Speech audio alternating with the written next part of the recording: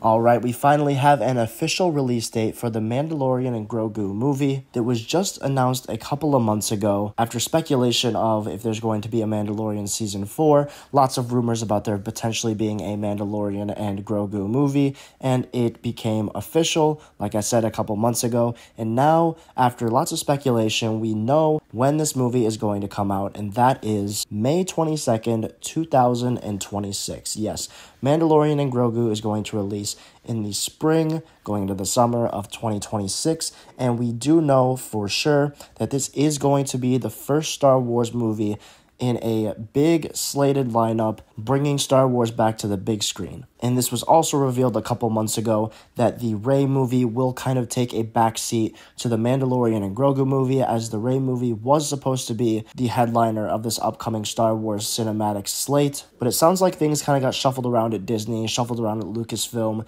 and they did decide to greenlight this Mandalorian and Grogu movie and have it take precedence and be the first movie since 2019, which is actually crazy to think about. And we're going to get into that right now. This is going to be the first first Star Wars movie in theaters since Episode 9, The Rise of Skywalker, which premiered in December of 2019. So by the time 2026 rolls around and The Mandalorian and Grogu sees theaters in the springtime, it will be just a little under seven years since we saw a Star Wars movie in theaters, which is crazy to think about. It really doesn't feel like that long ago that the Skywalker saga wrapped up in theaters with episode 9, and it's crazy to think everything that we've gotten since then has been Disney Plus material and will be Disney Plus material for the next little under three years, which is not really an issue if they were giving us consistent material, but a lot of it has been really hit and miss. Hopefully, these upcoming shows, such as Tales of the Empire, The Acolyte, Skeleton Crew,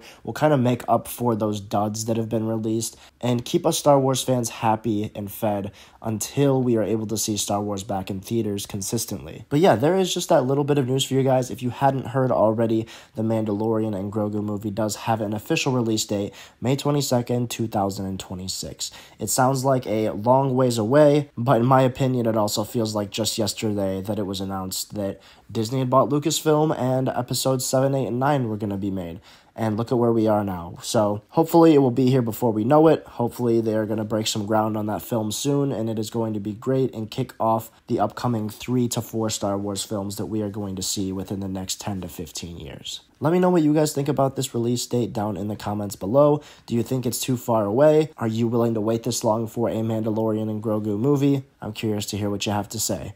Also, if you liked the video, make sure to leave a like on your way out and subscribe to the channel if you're new. Thank you so much for watching and have a great day.